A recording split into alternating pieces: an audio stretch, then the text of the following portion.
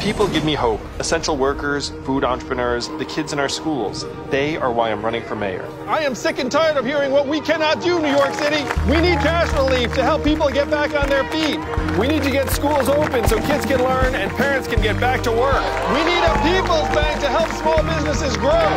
Mr. Yang, you're breath of fresh air. We need new leadership. We need new ideas.